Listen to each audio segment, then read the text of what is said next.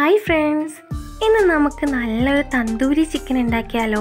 റെസ്റ്റോറന്റിൽ കിട്ടുന്ന അതേ ടേസ്റ്റിൽ ടേസ്റ്റിന് ഒരു കുറവും ഇല്ലാതെ ഗ്രില്ലോ പുറത്തുനിന്ന് വാങ്ങുന്ന തന്തൂരി മസാലയോ ഒന്നുമില്ലാതെ വീട്ടിലുള്ള ഇൻഗ്രീഡിയൻസ് വെച്ചിട്ട് വളരെ എളുപ്പം നല്ല ടേസ്റ്റി ആയിട്ടുള്ള അടിപൊളിയായിട്ടുള്ള തന്തൂരി ചിക്കൻ ഉണ്ടാക്കാം.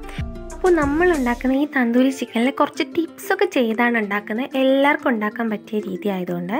അപ്പോൾ എങ്ങനെ ഉണ്ടാക്കേണ്ടതെന്ന് നമുക്ക് നോക്കാം.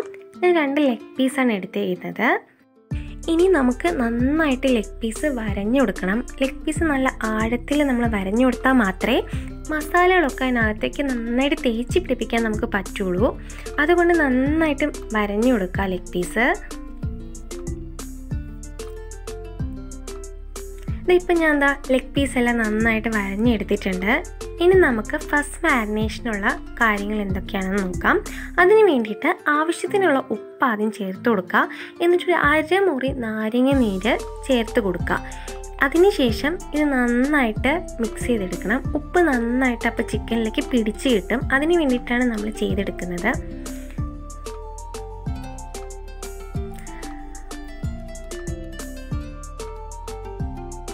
അപ്പോൾ ഇതാ നമ്മൾ ചെയ്ത് വെച്ചിട്ടുണ്ട്. ഇനി ഇതിലേക്ക് ഒരു കുഞ്ഞു കാര്യങ്ങളോട് ചെയ്യണം. ഒരു കാൽ ടേബിൾ സ്പൂൺ വീതം ഇഞ്ചി വെളുത്തുള്ളി പേസ്റ്റ് ആഡ് ചെയ്ത് കൊടുക്കുക. പിന്നെ ചേർക്കേണ്ട രണ്ട് ടേബിൾ സ്പൂൺ തൈര്.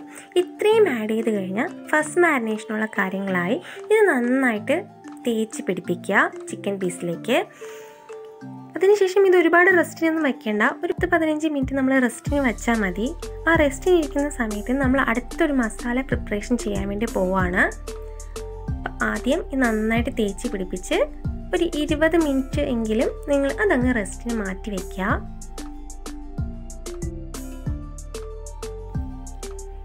ഇപ്പം ഞാൻ എന്താ ഇതെല്ലാം തേച്ച് പിടിപ്പിച്ചിട്ടുണ്ട്. അതവിടെ ഇരിക്കട്ടെ. ഇനി നമുക്ക് മസാല പ്രിപ്പറേഷന് വേണ്ടിയിട്ട് തുടങ്ങാം. അതിന് വേണ്ടിയിട്ട് ഞാനൊരു ബൗളിലേക്ക് മുക്കാൽ tablespoon garam masala add ചെയ്ത് കൊടുക്കുന്നുണ്ട്. അതുപോലെ തന്നെ കാൽ ടേബിൾ സ്പൂൺ മല്ലിപ്പൊടി അര ടേബിൾ സ്പൂൺ ചെറിയ ജീരകം വറുത്ത് പൊടിച്ചത്. കാൽ ടേബിൾ സ്പൂൺ കുരുമുളക് പൊടി. ഇതെല്ലാം കൂടെ ആഡ് ചെയ്ത് മിക്സ് ചെയ്തെടുക്കുക. മുളക് പൊടി ഞാൻ ഇപ്പോൾ ചേർക്കുന്നില്ല. അത് ചെറിയ ടിപ്പായിട്ട് പറഞ്ഞു തരുന്നുണ്ട് അപ്പോൾ ഗരം മസാലയുടെ ഇൻഗ്രീഡിയൻസും മല്ലിയും ചെറിയ ജീരകവും ഒക്കെ വറുത്ത് പൊടിച്ചുണ്ടാക്കുന്നതാണ് തന്തൂരി മസാല. മുളകും ആഡ് ചെയ്യും. അപ്പോൾ നമ്മൾ ഇതുപോലെ വീട്ടിലുള്ള ഇൻഗ്രീഡിയൻസ് ആഡ് ചെയ്ത് കൊടുത്ത് മിക്സ് ചെയ്ത് കഴിഞ്ഞാൽ പെട്ടെന്ന് തന്നെ ഒരു തന്തൂരി മസാല റെഡിയാക്കി എടുക്കാം. ഇനി അടുത്ത് നമ്മൾ വേറൊരു ബൗളിലേക്ക് ഒരു ടേബിൾ സ്പൂൺ എണ്ണ ഒഴിച്ചു കൊടുക്കുക. ഏതെണ്ണ ആയാലും മതി. എന്നിട്ട് അതിലേക്കാണ് ഒന്നര ടേബിൾ സ്പൂൺ മുളക് പൊടി ആഡ് ചെയ്ത് കൊടുക്കുന്നത്. ഇങ്ങനെ ചെയ്യുമ്പോൾ മുളക് പൊടിക്ക് നല്ലൊരു കളർ കിട്ടും. എക്സ്ട്രാ ഫുഡ് കളറൊന്നും നമുക്ക് ആഡ് ചെയ്യേണ്ട ആവശ്യം വരുന്നില്ല. സാധാരണ റെസ്റ്റോറന്റിലൊക്കെ ഫുഡ് കളറൊക്കെ ആഡ് ചെയ്താണ് നല്ലൊരു കളർ അവർ വരുത്തിക്കുന്നത് നമുക്ക് ഇതുപോലെ ചെറിയ ടിപ്പ് ചെയ്താൽ മതി. എണ്ണയ്ക്കകത്ത് മുളക് പൊടി ചേരുമ്പോൾ അതായി കാണുന്ന പോലെ നല്ലൊരു റെഡിഷ് കളർ ഉണ്ടായി കിട്ടും. തന്തൂരി മസാലയ്ക്കകത്ത് നമ്മൾ പറഞ്ഞ ഡ്രൈ ഇൻഗ്രീഡിയൻസിന്റെ കൂടെ വറ്റൽ മുളകും കൂടെ ആഡ് ചെയ്ത് കൊടുത്ത് പൊടിച്ചെടുക്കുകയാണ് ചെയ്യുന്നത്. ഇവിടെ ഞാനിപ്പോൾ ഈ ഒരു ടിപ്പ് കാണിക്കാൻ വേണ്ടിയിട്ടാണ് പ്രത്യേക മുളക് പൊടി എടുത്തത്. ഇതുപോലെ എല്ലാം ചെയ്തെടുത്തിട്ടുണ്ട്. ഇനി നമ്മുടെ മസാലകളെല്ലാം റെഡി ആയിട്ടുണ്ട്. മുളക് പൊടി ഒരു സ്റ്റെപ്പായിട്ട് ഒരെടുത്ത്. അടുത്ത മസാല നമ്മൾ ഡ്രൈ ആയിട്ടെല്ലാം ചെയ്ത് വെച്ചിരിക്കുന്ന മസാലയും റെഡിയായി വെച്ചിട്ടുണ്ട്. അപ്പോൾ ഇത്രയേ ഉള്ളൂ. എളുപ്പത്തിൽ എല്ലാവർക്കും തന്തൂരിയുടെ മസാല റെഡിയാക്കിയെടുക്കാം. ഇനി മാരിനേറ്റ് ചെയ്ത് മാറ്റി വെച്ചിരുന്ന ഫസ്റ്റ് മാരിനേഷൻ കഴിഞ്ഞ് മാറ്റി വെച്ചിരുന്ന ചിക്കൻ എടുത്ത് അതിലേക്ക് നമുക്ക് ചില്ലി പേസ്റ്റ് ആഡ് ചെയ്ത് കൊടുക്കാം. അതിനുശേഷം നമ്മൾ എടുത്തു വെച്ചിരിക്കുന്ന ഡ്രൈ മസാല പൗഡർ നമ്മൾ റെഡിയാക്കി വെച്ചിട്ടും കൂടെ ആഡ് ചെയ്ത് കൊടുക്കുക അതിലേക്ക് ഒരു കാൽ ടേബിൾ സ്പൂൺ മഞ്ഞൾപ്പൊടിയും കൂടെ ആഡ് ചെയ്ത് കൊടുത്ത് നന്നായിട്ട് മാരിനേറ്റ് ചെയ്തെടുക്കുക. കൈകൊണ്ട് തന്നെ നന്നായിട്ട് മാരിനേറ്റ് ചെയ്തെടുക്കുക. അപ്പോഴും മസാല നന്നായിട്ട് ലെഗ് പീസ് നമ്മൾ കട്ട് ചെയ്ത പീസിനകത്തേക്കൊക്കെ ഇറങ്ങി ചെല്ലുള്ളൂ. നന്നായിട്ട് അതിലേക്കൊക്കെ തേച്ച് പിടിപ്പിച്ചെടുക്കുക. നന്നായിട്ട് മാരിനേറ്റ് ചെയ്തെടുത്തേക്കുന്ന ഈ ചിക്കൻ ഫ്രിഡ്ജിനകത്ത് ഒരു മണിക്കൂർ റെസ്റ്റിന് വയ്ക്കുക അതല്ല പുറത്താണ് വയ്ക്കുന്നതെങ്കിൽ നാല് മണിക്കൂറെങ്കിലും മിനിമം വയ്ക്കണം എന്നാൽ മാത്രമേ നന്നായിട്ട് മസാല പിടിക്കുകയുള്ളൂ ഫ്രിഡ്ജിനകത്താണ് ഇപ്പം ഞാൻ വയ്ക്കാൻ പോകുന്നത്. ഒരു മണിക്കൂർ ടു ഒന്നര മണിക്കൂർ വരെ നിങ്ങൾക്ക് വയ്ക്കാവുന്നതാണ് ഇപ്പോൾ ഒന്നര മണിക്കൂർ കഴിഞ്ഞിട്ടുണ്ട്. ഞാൻ ഒന്നര മണിക്കൂറിന് ശേഷം ഒരു ഫ്രൈങ് പാൻ എടുത്തിട്ട് അതിലേക്ക് കുറച്ച് എണ്ണ ഒഴിച്ചു കൊടുക്കുകയാണ്. ഇത് രണ്ട് ലെഗ് പീസല്ലേ ഉള്ളൂ. അപ്പോൾ ഒരുപാട് എണ്ണയുടെ ആവശ്യമില്ല. അതിനുശേഷം മാരിനേറ്റ് ചെയ്ത് വെച്ചിരുന്ന ചിക്കൻ എടുത്തിട്ടുണ്ട്. ഇനി എണ്ണ നന്നായിട്ട് പാനിൽ തടവി എടുത്തതിന് ശേഷം മീഡിയം ഫ്ലെയിമിൽ നമ്മൾ ചിക്കൻ പീസ് ഇട്ട് കൊടുക്കാം.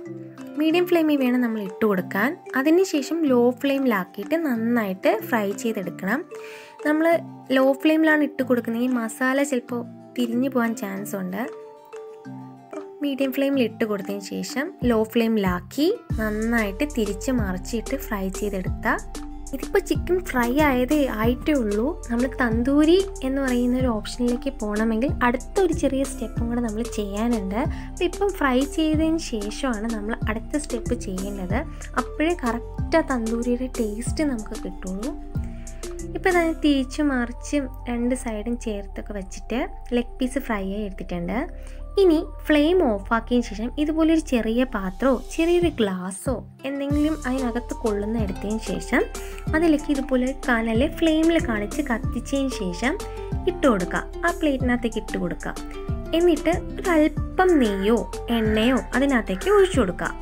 അപ്പോഴേക്കും നന്നായിട്ട് അത് സ്മോക്ക് ചെയ്യും. നമ്മൾ ഗ്രില്ല് ചെയ്യുന്നതിന്റെ ആ ഒരു എഫക്റ്റാണ് ഇങ്ങനെ കിട്ടുന്നത്. അപ്പോൾ എല്ലാവർക്കും വീട്ടിലത് ചെയ്യാം. അതിനുശേഷം ലിഡ് കൊണ്ട് അടച്ച് ആ ലിഡിന്റെ ഹോളും നമ്മൾ അടച്ച് വയ്ക്കണം എന്നിട്ട് മൂന്ന് മിനിറ്റ് നേരത്തേക്ക് അത് അങ്ങനെ അങ്ങ് വിട്ടേക്കാം. അപ്പോൾ നന്നായിട്ട് സ്മോക്ക് അതിൽ നിന്ന് ഇറങ്ങി വരും. അപ്പോൾ ഗ്രില്ല് ചെയ്യുന്ന ആ ഒരു എഫക്റ്റ് ഇതിനകത്ത് നമുക്ക് ഉണ്ടാക്കിയെടുക്കാൻ പറ്റും.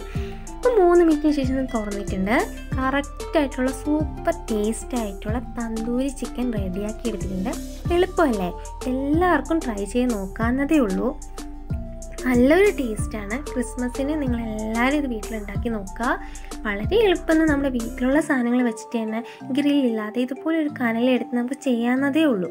അപ്പോൾ ഒരുപാട് ഗ്രില്ല് ചെയ്ത് ചെയ്യേണ്ട ആവശ്യമില്ല. പാനിനകത്തോ അല്ലെങ്കിൽ നിങ്ങൾക്ക് പാനിനെ വേണമെന്നില്ല. ചട്ടിക്കകത്ത് തന്നെ നമുക്ക് ചെയ്തെടുക്കാം ഇത്. അടച്ചു വെച്ചിരുന്നാൽ മതി നന്നായിട്ട്. സ്മോക്ക് പുറത്തു പോകാത്ത രീതിയിൽ.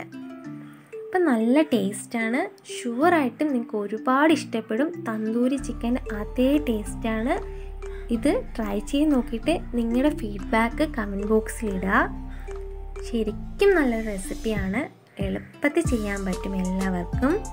പുറത്ത് നല്ലൊരു സ്മോക്കി ടേസ്റ്റും തന്തൂരിയുടെ ആ ഗ്രിൽ ചെയ്തതിന്റെ സ്മോക്കി ടേസ്റ്റും അകത്ത് നല്ല ജ്യൂസി ആയിട്ടുള്ള നമ്മുടെ തന്തൂരി ചിക്കൻ റെഡിയായി കിട്ടിയിട്ടുണ്ട്. എല്ലാവരും ചെയ്യുമെന്ന് പ്രതീക്ഷിക്കുന്നു. അതുപോലെ ഇതുവരെ ഞങ്ങളുടെ ചാനൽ സബ്സ്ക്രൈബ് ചെയ്തിട്ടില്ലാത്തവർ സബ്സ്ക്രൈബ് ചെയ്യുക. ചെയ്യുമ്പോൾ അടുത്തുള്ള ബെൽ ബട്ടണും കൂടെ അമർത്തുക. എന്നാൽ മാത്രമേ നോട്ടിഫിക്കേഷൻ നിങ്ങൾക്ക് കിട്ടുകയുള്ളൂ ഇനി അടുത്ത വീഡിയോയിൽ കാണാം. ബൈ